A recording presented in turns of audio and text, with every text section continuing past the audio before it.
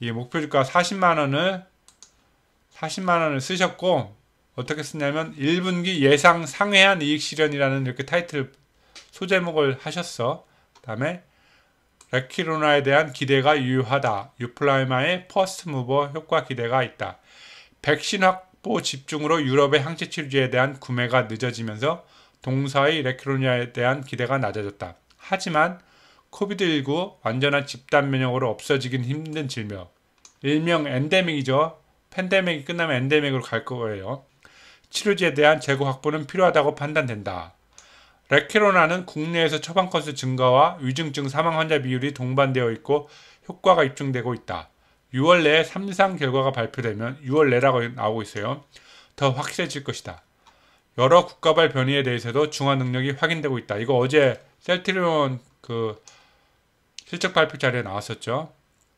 EU에서 최종 허가가 예상되는 3분기 말 이후 본격적인 수출을 기대한다.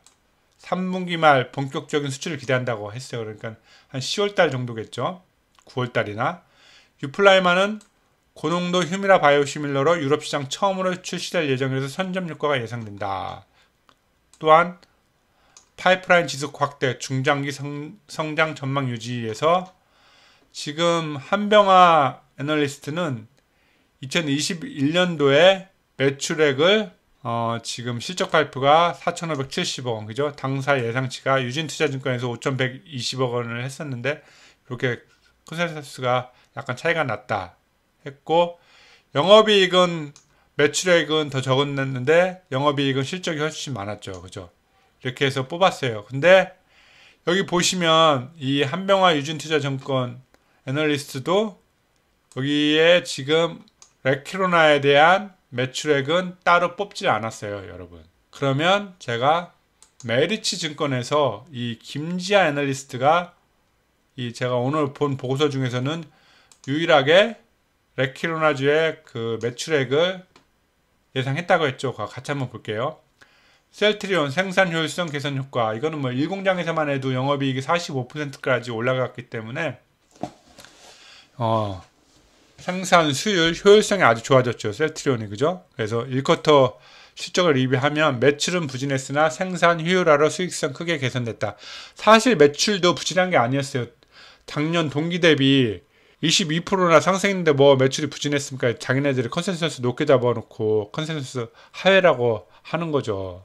다음에 2 quarter preview를 하면 유플라이마와 램시마SC가 성장이 기대된다고 얘기를 했고 적정 주가를 36만 원 유지를 했는데 여기 좋은 말을 적었어요. 동사에 대한 투자 의견 buy와 적정 주가 36만 원 유지한다. 그 이유로는 고수익 제품 유플라이마의 성장이 전망되고 두 번째 생산 효율화로 원가 개선이 지속 중이며 세 번째 인도 및 유럽 레키로나 수출 역시 기대해 볼 수 있기에 buy 의견을 제시한다.